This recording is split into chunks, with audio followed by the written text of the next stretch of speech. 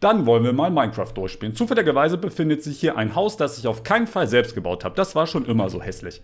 Wir haben absolut nichts, was man gebrauchen könnte. Wir nehmen die Elytra mit, wir nehmen die Raketen mit. Und was ist das? Banks und die Hexen der Badaquampa. Ist das etwa der erste Roman von Banks, der am 8. November erscheint? Das müssen wir uns mal ganz genau angucken.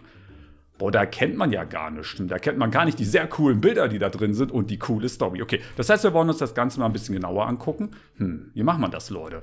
Vielleicht sollten wir den TNT-Boost benutzen, der hier vorbereitet wurde. Direkt daneben gesprungen, man kennt mich. Und Abfahrt. Oh, da kennt man schon ein bisschen mehr was, Leute. Der erste Roman des Gaming-YouTubers Banks und die Hexen der Badaquampa in jeder Buchhandlung Deutsch, Österreich, Schweiz, Luxemburg und so weiter.